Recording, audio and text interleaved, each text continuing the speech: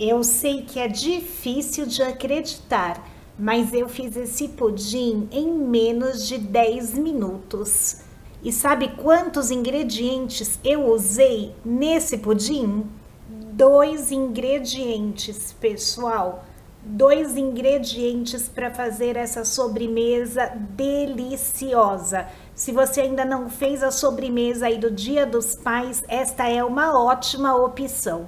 Olá pessoal, tudo bem com vocês? Espero que sim. Pessoal, para quem ainda não me conhece, o meu nome é Fátima Barros e aqui nesse canal eu compartilho com vocês receitas de bolos, doces e salgados. E se você gosta desse tipo de conteúdo e ainda não se inscreveu, inscreva-se. Aproveita e deixa aquele joinha para estar fortalecendo o canal e também compartilhe esse vídeo com seus amigos e familiares. E agora sim, gente, vamos lá para nossa receitinha? Vamos começar aqui pela calda do pudim. Eu vou colocar na panela uma xícara de açúcar refinado. Pode ser açúcar cristal também. Aqui eu tenho uma xícara de 250 ml, porém em gramas, 180 gramas de açúcar. Eu vou ligar aqui o meu fogão em fogo médio. Vou colocar aqui então a panela com açúcar e vou deixar o meu açúcar caramelizar. Ele vai derretendo. Eu vou ajudar com uma colher aos poucos, assim que começar a caramelizar. Vou mostrando para vocês. Aqui, olha pessoal, já está começando a derreter o açúcar e formar o caramelo. Aí eu posso começar a mexer para ajudar o açúcar a derreter. Fica de olho para não queimar o açúcar. E vamos aguardar até que derreta completamente. Aqui terminou de derreter todo o açúcar e está com essa cor linda, bem caramelo realmente. Então aqui eu vou abaixar bem o fogo e vou colocar com cuidado aos poucos meia xícara de água. A minha está em temperatura ambiente. Assim que eu coloco a água, o caramelo, ele fica assim, olha, bem grosso e duro, ele fica cristalizado. Então, nós vamos deixar agora em fogo médio novamente e vamos aguardar até que derreta completamente. Não precisa ficar mexendo. Assim que terminar de dissolver todos esses torrõezinhos aqui de açúcar, a calda já estará pronta. Fica de olho porque é rápido.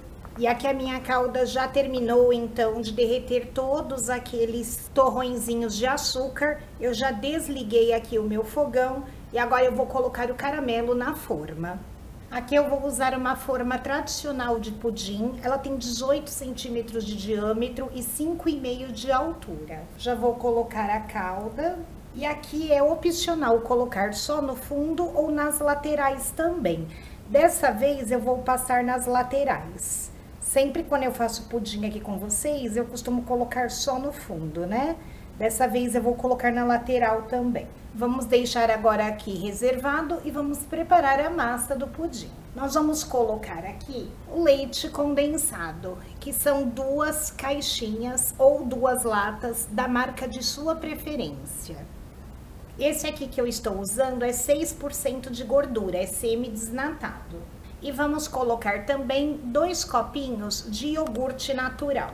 Cada copinho desse tem 170 gramas e também pode ser a marca de sua preferência.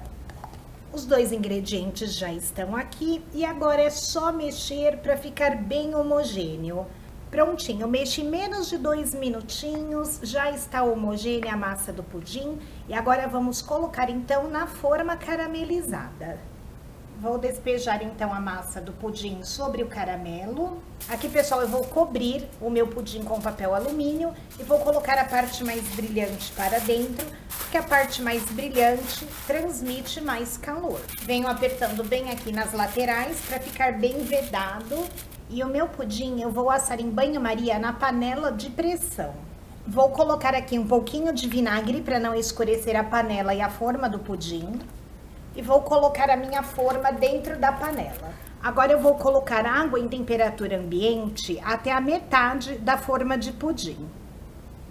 Aqui eu já coloquei água então e eu consigo visualizar que está até a metade da forminha. Eu vou fechar a minha panela com pressão e vou levar no fogão em fogo alto, fogo normal quando começar a pegar a pressão, começar a fazer aquele barulhinho aqui na válvula, eu vou contar 5 minutos. Vou desligar o fogo assim que passar os 5 minutos e vou aguardar a pressão sair sozinha. Acabou de pegar a pressão, o barulhinho. Agora eu vou contar então 5 minutinhos. Pessoal, passaram-se 5 minutos após a pressão, eu retirei a panela do fogo, deixei ela aqui, ainda está com pressão. Vou esperar sair normalmente e aí depois nós vamos abrir para ver como já está o pudim. Eu aguardei sair a pressão e agora vamos ver então o pudim. Como aqui dentro a água ainda está quentinha e ainda tem água, eu vou retirar aqui com a pontinha da faca uma parte do alumínio. Hum, gente, dá um cheirinho tão bom esse pudim. E vou espetar aqui. Eu já estou vendo aqui o pudim, já estou vendo que está bom. Mas eu vou fazer o teste, vou espetar aqui a pontinha da faca e mostrar para vocês. Está saindo limpinha. Então, meu pudim já está bom. Ficou 5 minutos após o início da pressão. Só isso. Se por um acaso o seu ainda sair com a faca um pouquinho meladinha de pudim, você fecha a sua panela, coloca no fogão, deixa mais dois minutinhos após o início da pressão. Mas antes, verifica se ainda tem água suficiente. Se não tiver, você coloca mais um pouquinho de água. Agora, antes de retirar a forma aqui de dentro, eu vou aguardar a água que está aqui esfriar, porque ainda está muito quente. Eu tenho medo de, na hora de retirar, respingar água e queimar a mão. Então, vou aguardar a água esfriar, depois eu vou retirar o pudim da panela e levar à geladeira. Vou deixar na geladeira até ficar bem frio. O ideal é de um dia para o outro, mas como nós estamos fazendo aqui uma sobremesa rápida, eu vou deixar pelo menos 3 horas na geladeira e depois vou desinformar com vocês. Vou deixar aqui então esfriando.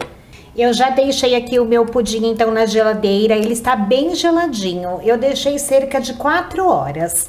E agora, para desenformar e ficar bem bonito, antes de virá-lo aqui no prato, eu vou levar ele na chama do fogão e vou deixar uns 20, 30 segundos, que é para o caramelo ficar um pouquinho derretido e facilitar na hora de desenformar.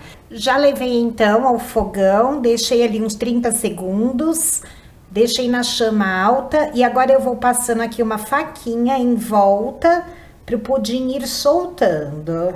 E agora eu já vou virar então o pudim. Vamos retirar a forma. Tchan, tchararã. Que lindo! Olha isso, pessoal. Pudim maravilhoso, feito em menos de 10 minutinhos, né? E olha que maravilha de sobremesa.